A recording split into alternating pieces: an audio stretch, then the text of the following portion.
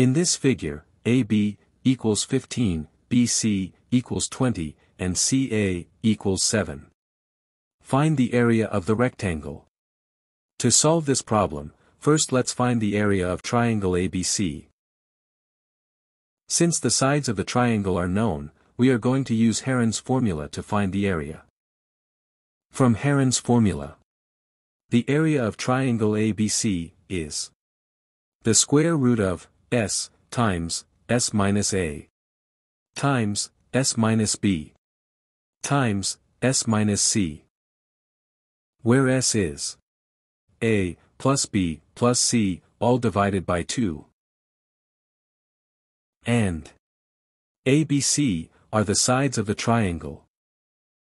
To find S. S is equal to 7 plus 15 plus 20 all divided by 2. 7 plus 15 plus 20 is equal to 42. So, we have 42 divided by 2, which is 21. Now we know the value of S. The area of triangle ABC will be the square root of 21 times 21 minus 7 times 21 minus 15 times 21 minus 20. Simplifying this will give us the root of 21 times 14 times 6 times 1. 21 times 14 times 6 times 1 is 1764. The square root of 1764 is equal to 42. So, the area of triangle ABC is equal to 42 square units. Next, let's find the height, BD, of triangle ABC, which is the breadth of the rectangle. To do so, let's recall that the formula for calculating the area of triangle is given as area is equal to 1 over 2 times base times height. So, the height of the triangle will be 2 times area of the triangle, all over the base. Since the area of triangle ABC is 42, and the base 7. It follows that the height is equal to 2 times 42, all over 7, which is equal to 84 over 7. 84 divided by 7, is 12. Hence, BD, is equal to 12 units. Next, let's find the length, DC, of the rectangle.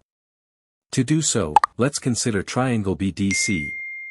Observe that triangle BDC is a right-angle triangle. So, from Pythagoras' theorem, BC squared is equal to BD squared plus DC squared.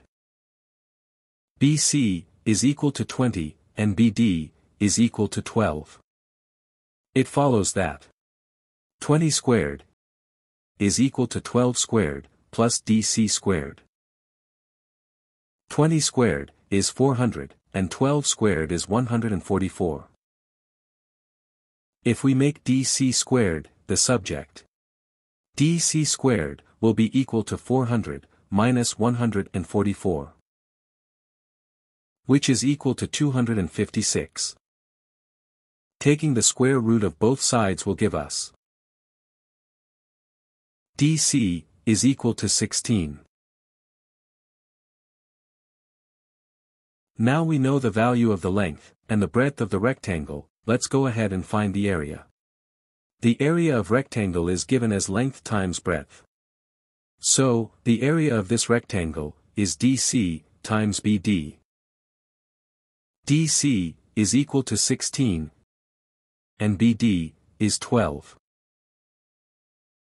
It follows that the area of the rectangle is equal to 16, times 12, which is equal to 192 square units. Thanks for watching. If you liked this video, make sure to subscribe for more.